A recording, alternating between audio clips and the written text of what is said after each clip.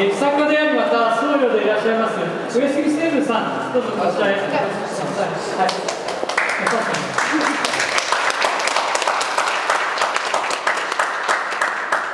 上杉さんどうもありがとうございます、はいあの、えー、向かって、あ、どうぞどうぞお座りください。あの、上杉さんに向かって左が、えー、今回のドラマトゥーク、あ、あ文芸部というか、あ顧問みたいな方ですね。えー、佐々木克美さんです。えー、そして、えー、今回の、まあ、作演出、台本演出の大岡潤さんです。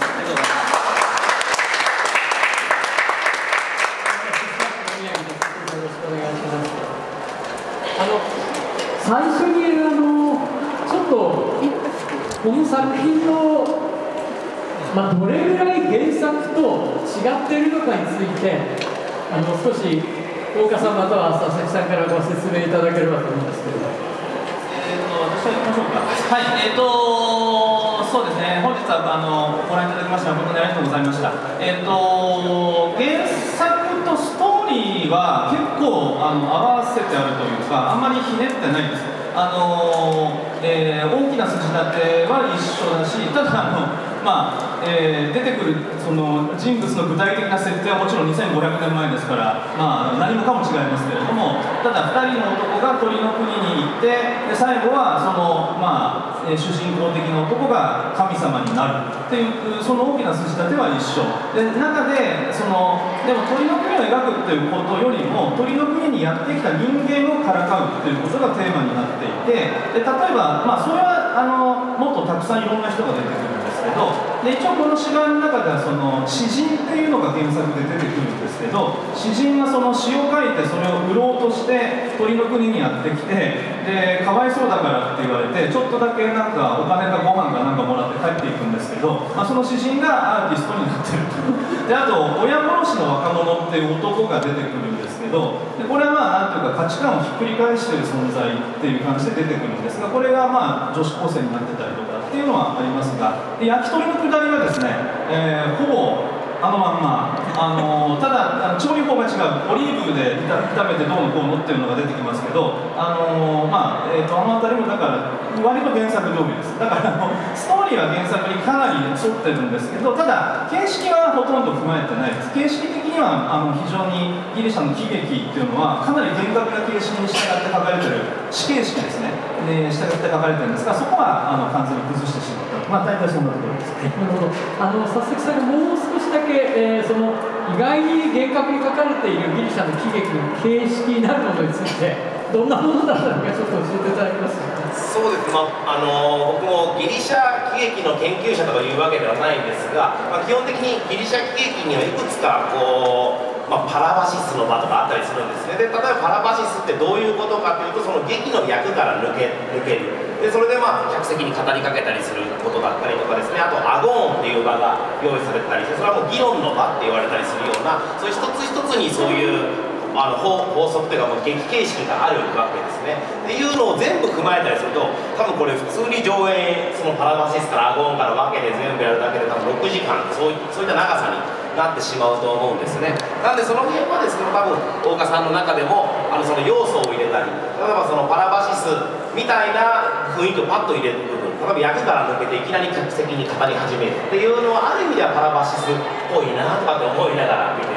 なるほど。あの元を知ってるとかえってあのもっと、まあ、味わえるというか二度おいしいようなところも実は散りばめてあったということなんですね。あの見てるとあの舞台セットですね、はい、こちらの方も、まあ、ギリシャの中ではスケーネーっていうあの舞台の中に小屋を作るんですね。でそれが俳優の楽屋でもあり今回みたいに巣みたいな感じでこう舞台セットになってるっていうのを、まあ、スケーネーというのも分かる人から見るとあスケーネーだっていうふうにこう思ったりっていう非常に形式をいろいろ踏まえながらパロディしてるなというふうに思いました。なるほど。そのちなみにスケーネってこう英語で「シーン」って字を書いていただくとそれローマ字っぽく読むとスケーネですよね。そのシーンの元になった単語ですが、あのじゃあ上杉さんにあのまあ、はい、お伺いしたいんですけど、まあ、最初に大岡さん上杉さんをご紹介というかあそうですね。それといて変ですけど、はい、はいあのー、えっ、ー、とまあ、えー、小さい頃からですね 上杉さんの文章は実は私はよく読んでおりまして小さい頃から。小さい頃から。80年代の、まあえー、びっくりハウスとかですね、えー、あの栗本慎一郎著、えー「鉄の処女」っていう本で協調で出されてたりするんですけどあれ平岡生命さん亡くなられましたけどとの協調ですとかまあ、そういうのであの一読者として、まあ、親しんでいた方ですが、あのえーとまああのえー、劇作家でもいらっしゃってでそれで、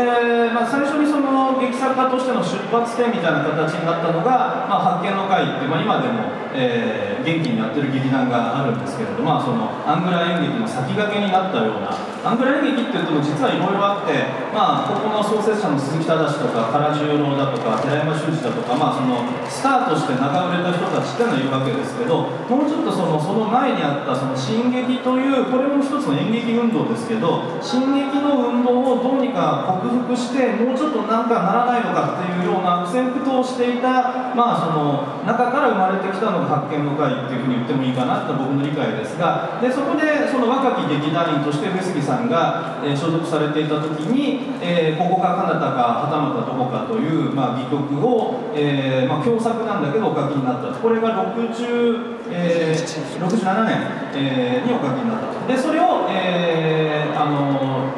もう一昨年になるんですかね、えーとあのえー、スパックの企画として、えー、もう今なくなっちゃってあの街中に移転しましたけどアトリエビルメという、まあ、ちっちゃな小屋を、まあ、我々が借りまして、えー、一般の静岡の俳優さんたちとスパックの俳優のコラボレーションで、えー、上演したと。だからまあその67年をどう考えるかっていう、まあ、あの企画を、まあ、県立美術館と合同でやったっていうことがあったんですが、まあ、その時にあの67年当時の、まあ、面白かった戯曲っていうのをいろいろ私も調べ上げまして、まあ、その中でも特に上杉さんのお書きになった処女作が極めて破壊的であの要するにビートルズの歌が散りばめてあってであと全く脈絡のわからない断片がいっぱいその中に並んでるっていうようなものででそれを一本の作品として、まあ、ガツンとやりたいっていうことを思って、まあ、それであの上演許可をいただけたという、まあ、そのあたりが実際に、まあ、知り合いにあのなったきっかけという話でございます。はい、という方ですね？そうですね。ここからかなったか。あのビートルズの Here There Everywhere、えー、そういうふうに 意訳された、それがタイトル、そういうまあ当時のえー、演劇界では本当に驚きを持って迎えられた戯曲、えー、だったと思うんですあの上杉さん、じゃあ、今日のお芝居ご覧になって、またその、えー、大岡さんの2年前の演出も踏まえられて、どういうことを感じになられたか、ちょっと伺ってよろしいですか。まああのえー、2年前にやっていただいたのは、私も見てちょっとびっくりしたんですけど、えー、それからまあ、ちょっとお話もしたりして、若干、大岡さんのことも少し理解を。してそれであの21世紀の学びのと向かってあ、あのぐらいまでそうですね。そうです。今日ちょっと売ってますね。面白いえー、っとですね、あのまあ難しいですけど、今日はあの大人の人が見てらっしゃったでしょ。で私この前28日に見せていただいた時には定時制の高校生の方がいらして、で後でお話伺ったらあの。中学生とか、普通の、まあ、定時制じゃない高校生が来てでやっぱりなんかあの爆発的に中学生が受けるっていう感じが。で大人の人はやっぱりこう喜劇だと思ってるんでどこどこで笑おうかっていうか構えてるようなとこもあってでなかなか外したりこうしてると笑いにくくなったりもするしって。で意外とあの結構なんかあの最終的にはあのどうなんだろうっていうか辛い感じがっていうのはまあここがミソだと思うんですけれどそれを大笑いして帰るっていうようなものじゃないし僕もちょっと読んだんですけどまあ、あのアリストワネスはその大爆笑っていう喜劇を書いてた人じゃないっていうのがね。そうですね。はい。そうですだから別に大爆笑を目指しているものではないけれどまあ皮肉っていうかもうまあちょっと苦い笑いっていう感じになってるんだなって。それをだからあのなんていうか植物的に笑えるのかうんとこう考えてまあ最後に考えろって言ってるんだから考えるしかないんだけど。その辺の反応はだからこう客層が違って例えば僕らが芝居してもまあ大人しか見ないっていう状況がありますよね。れやっぱり中学生が見たり高校生が見たりするっていうことでやっぱり一つの芝居がいろんな受け取り方をされるっていうのがすごく面白いなと思ってだから僕もその中学生が見てる時に一緒に見たいっていうふうに言ったんですけどであと年寄りの人にも見てほしいって言ったんですね。ものすごい年寄りの人に見てほしいっていうか。だからやっぱりそういう意味ではあの中学生が見たり高校生が見たり普通の方が見たりするような上演形式でやってる劇団っていうのは多分日本中にないと思うので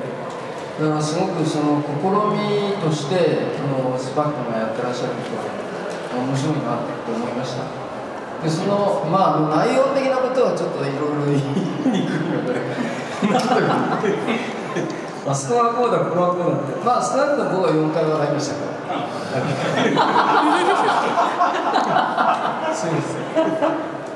あのまあ、補足するとあの反応が回によって違うわけなんですけどあの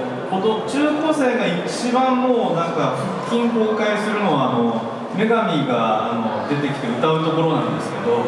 あれはなぜかこの間の一般公演日も皆さんシーンとしてご覧になっていてあそこはですね中高生はもう笑い死んでるところなんですよねもうおかしすぎて。あのお姉さんが客席から出てきてピンク色に染まってて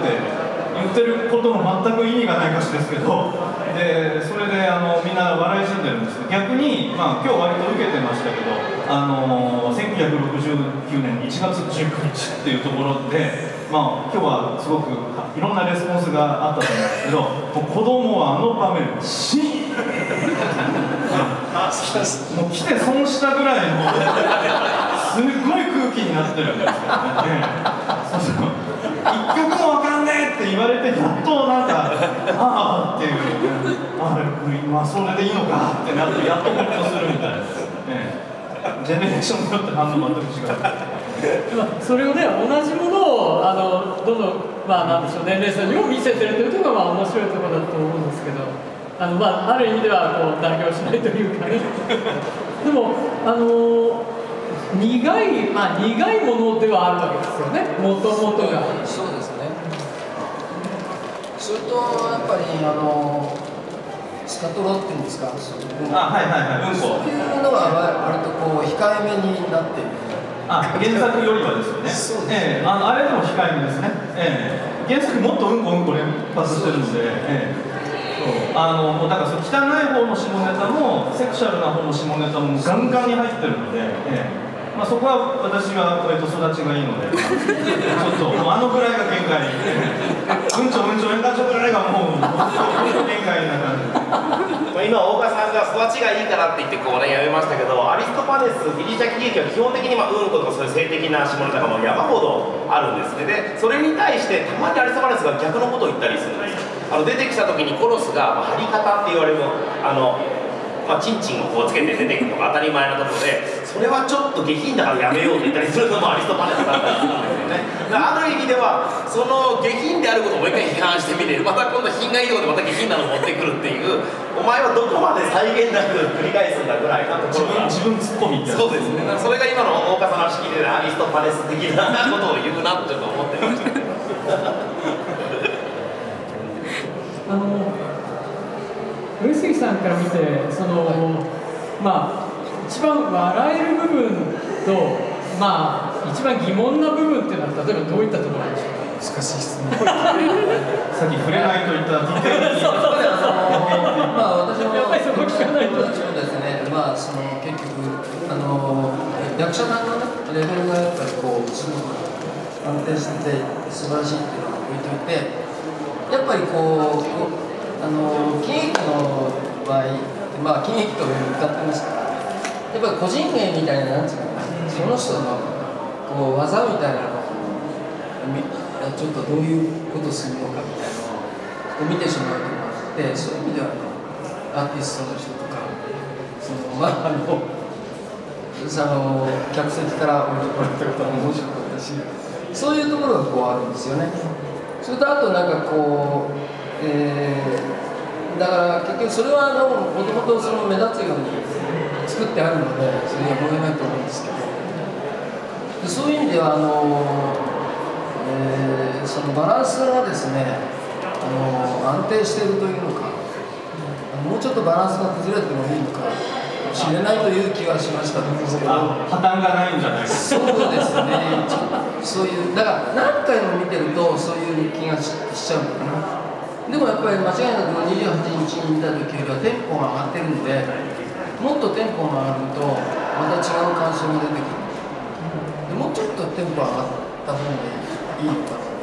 結局こう考えたり、休んだりしちゃうんですよ、客客が。そうするとちょっと、ついスピードがね、客客の方も遅くなっちゃって、うーんっていうなっちゃうので、こう問答無用っていう感じがもうちょっとあった方が面白いのかな、あれよあれよっていう感じがもうちょっと。別に悪口を言ってるわけじゃないですよ。もっとわけわかんない感じになってもってことですね。お客さんにとってうん分かったっていうれちゃうぐらい。のところがあってもいいかなっていう気もちょっとしました。それはまさにここが彼方かはそういう芝居まさしくそういうまさしくまあ上杉戯曲ってのはそういう魅力がある戯曲だと佐々木さんどうですかそのあのその破綻がちょっともうちょっとなんかこうお客を置いてけぼりにするぐらいの変な勢いがあったって別にいいんじゃないか問題。ドラマする。まあいろんなのがあるなと思うんですけど例えばあのここがカナダかの時にはもう最初からこれはもう一つ一つあの観客に知ってもらうのはもう不可能だっていうところから始めるわけですよね。でそうするとそれがもちろん演技の中にも整合性ができない演技じゃないとできないわけですよね。でも今回のアリストパネスとかはある意味では全部要所要所掴んでてなんかこうロジカルにみんな動かなきゃいけないのがあるでこの今度このロジックを超えた部分がこれはできなくなるんじゃなくてそこの魅力をもっと出てくると今度はあの完成度が高いまんまギクシャクするっていうところまでい行ってほしいんじゃないかなっていうふうに上杉さん見てるのかなと思ってたんですね。あともう一つは、あの今悪口言ったわけじゃないですけど、要するに私が好きなあの花田清照という人がいて、多分そのこの本を書きになるときに、え大川さんも読まれたし、多分あのアリストパネスっていう曲を書いた佐々木さんも当然読まれていらっしゃると思うんですけど、あの中に出てくるね、あのロマン主義じゃなくて古典主義っていうでやっぱり劇場の中でやるっていうまあ例えばアングラテントとすればそういう選択ですか？でそこは大川さんがきちっとこうストイックにやってらっしゃるなっていうのは、まあ、花園さんが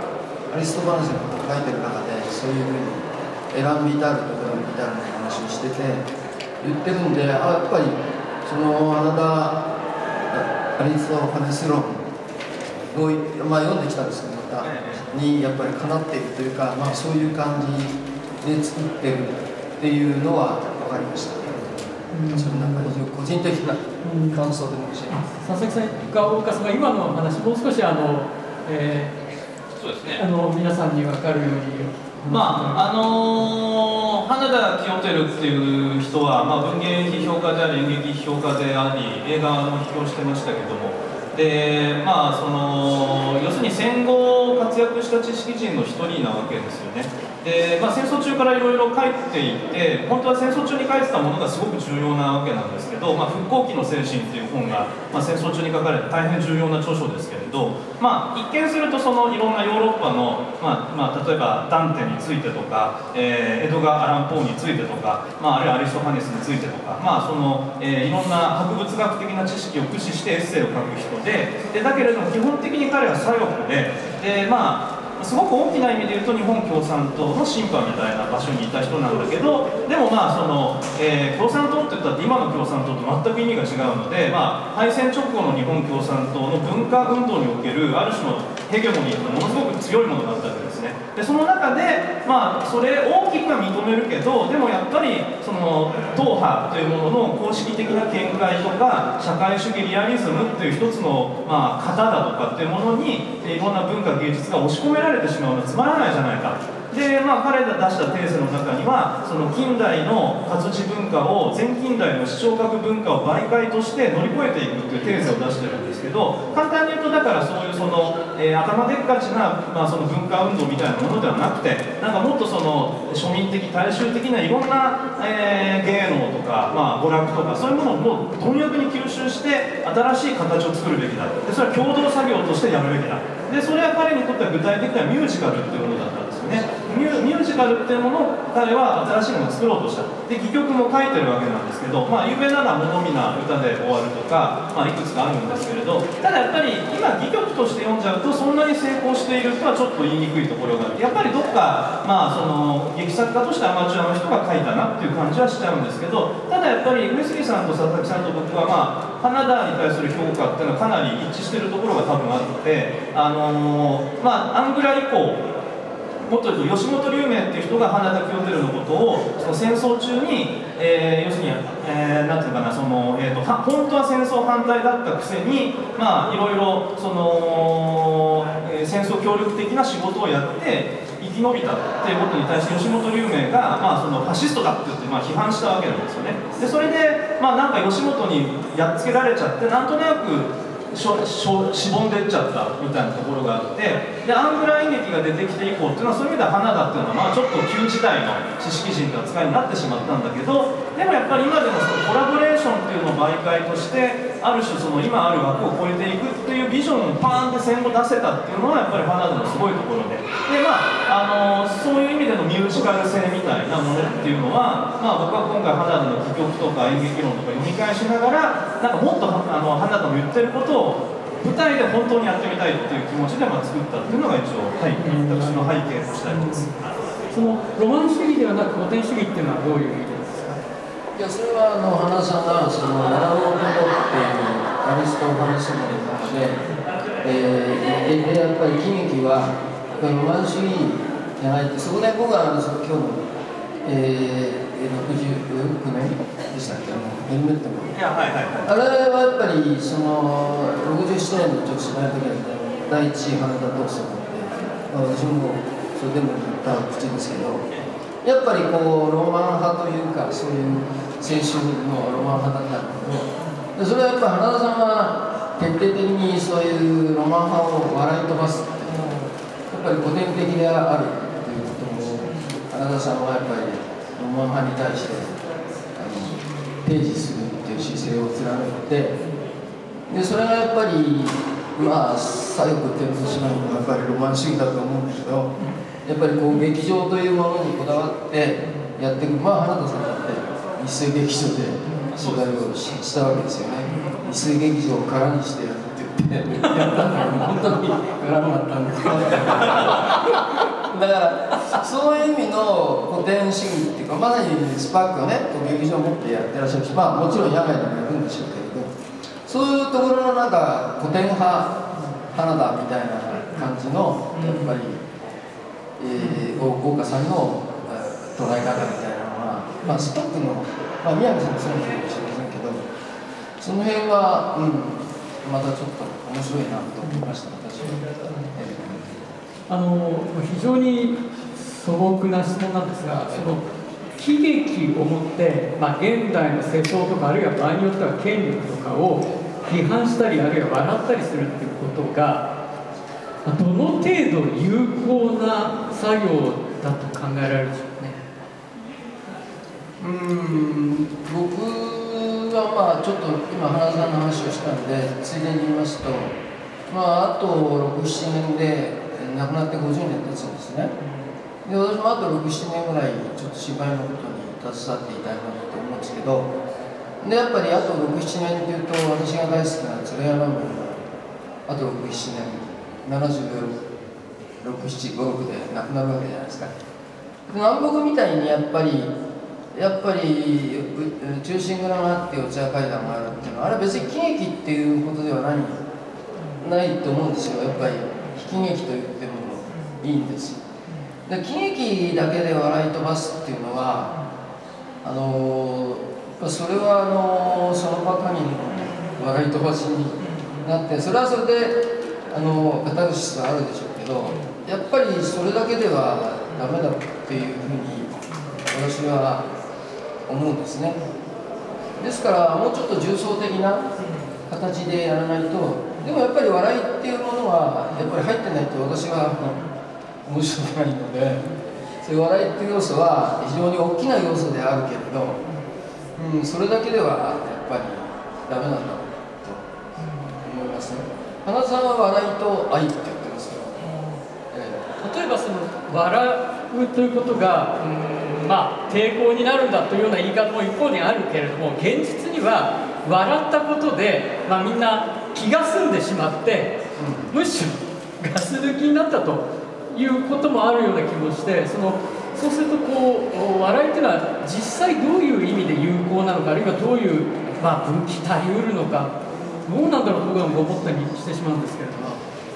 まあ、飯沢忠とか井上久志とかああいう人たちはまさにその、まあ、彼らの政治的な立場もあって多分その喜劇による抵抗っていうのをかなり、まあ、言いましたよね。でただまあしかしそうは言ってもんどうなんだろう。あの今上杉さんが言われたことで僕が重要だと思うのはえー、っとそのうんまあ純粋な喜劇っていうのは例えばその井上久志もそうだし三谷幸喜もそうだしまあ書いてる人いっぱいいるわけですよね。でそれがガス抜きになっちゃうか否かっていうのは、まあ、今の話をヒントとして捉えるんであればその中心からだった上で東海道四谷階段があるってことがなんか重要なのかなと思っていてその要するに「忠臣蔵」っていう物語は多分その、まあ、江戸の庶民にとっては平和なその時代をこう何百年か経験した人たちにとっては多分すごい大事件だったと思うんですけど、まあ、三島由紀夫の切腹とかなんかそういうレベルの衝撃をおそらく江戸の庶民に与えたものだと思うんですけどでなんとなくそれに対して心情的に加担するっていうような、まあ、ことも多分みんながあってでその物語に対していやちょっと待てと、うん、その赤穂浪士に参加しない男もそう討ち入れに行かない男もそこに1人いたかもしれないよと。でなみんなが話しているあの怪談話っていうのに出てくるあのひどい男っていうのはそういう男なのかもしれないとかっていうふうに南北がそのなんていうの、まあ、脱構築というのがなんかその本来の中心蔵の物語をこうずらしていくわけですだからなんかこうみんながのめり込む物語っていうのに対してそれをこうずらすっていうふうにやればある種のある種の大きな意味の政治性が生まれるのかなっていう気はするんですけれどそのずらしがないところでただなんていうかその場その場で面白いことをパーンってこう火花あの火花を咲かせてもなんかうまくいかないっていうことなのかなっていう気がしました。